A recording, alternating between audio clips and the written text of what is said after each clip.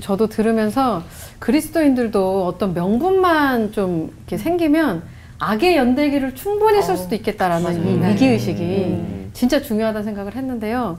오늘 이 디나와 다말 사건을 통해서 목사님들께서 저희들에게 딱 한 가지, 이거는 꼭 기억했으면 좋겠다 하시는 거 좀 한 한 가지씩 말씀해 주시면 너무 좋을 것 같아요.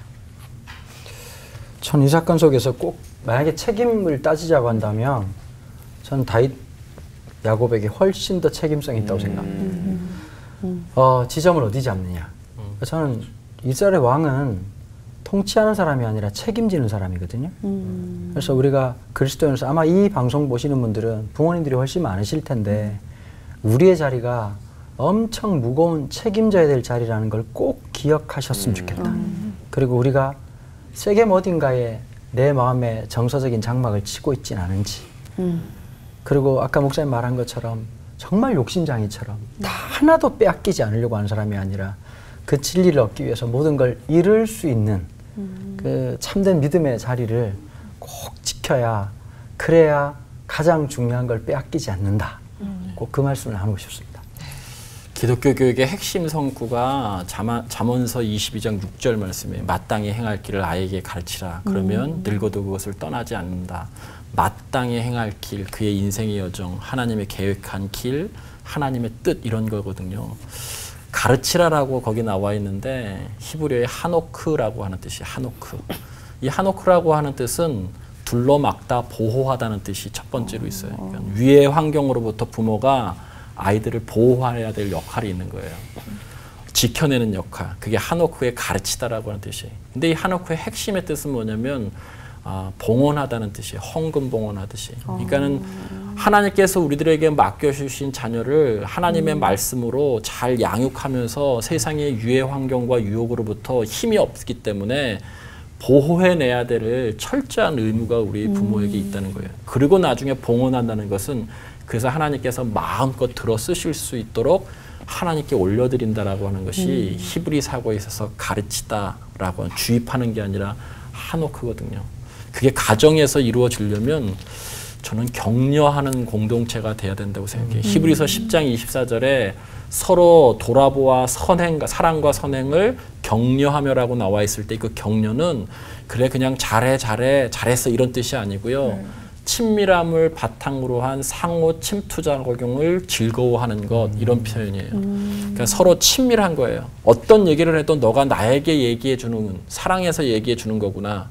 부모가 자녀한테 뭐 얘기해도 어 부모님이 나의 삶을 위해서 좋은 말씀을 해주시는 거구나라고 하는 것을 느낄 수 있는 친밀함의 전제 속에서 상호 침투하는 거예요. 그러면 안 돼.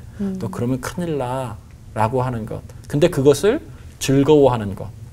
그것 가지고 막 반항하고 튀고 그러는 것이 아니라 저는 공동체, 가정 공동체가 어떤 훈계를 하더라도 격려가 바탕이 되는 상호 친밀함이 바탕이 되는 그 속에서 엄마 아빠가 또 자녀가 엄마에게 뭘 얘기해도 전혀 아 나를 위한 것이구나라고 하는 그 친밀함의 바탕으로 한 상호 침투작용이 자유로운 곳이 돼야 된다.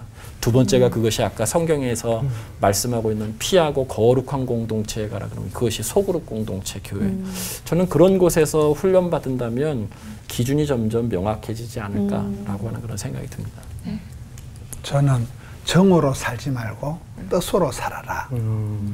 정으로 산다는 것은 인정사정, 내 새끼, 내 딸, 내 아들, 내 기쁨, 이게 이제 인정사정을 대부분 그렇게 살아가는 거잖아요. 죄라는 것이 자기 중심성이라는, 내 기쁨, 자기 합리화, 이게 죄잖아요. 나를 위해 살 인정사정을 이렇게 따라가면 항상 결론이 좀 안 좋아지더라고요. 근데 우리가 좀 징그러워하는 막 하나님 영광을 위하여 주님의 뜻을 위하여 하나님 기뻐 너무 막 이런 거 들으면 막 징그럽거든요. 저막 너무 또 설교하네 이러는데 세월이 지나 보니까 그게 진짜예요. 그러니까 내 인정 사정을 따라 사는 건 결론이 다 좀 거시기하고. 하나님의 뜻이라면 하나님을 기쁘시게 하는 그, 그 정으로 살지 말고 뜻으로 살아간 건 다 끝이 좋더라고요. 그런 부분에서 이 인정 사정을 따라갈 땐 디나 다말 사건이 속출한다. 하나님의 뜻을 자꾸 살피고 그쪽으로 내 어떤 내 자기 중심적인 거를 하나님께로 이렇게 방향을 돌릴 땐 이스라엘의 노래 잘하는 다윗이 되고 하나님 앞에 시를 잘 적은 아주 기가 막힌 최고의 사람이 나오는 거잖아요. 그래서 그 부분이 정으로 살지 말고 뜻으로 살아가자. 재미는 없지만은. 네.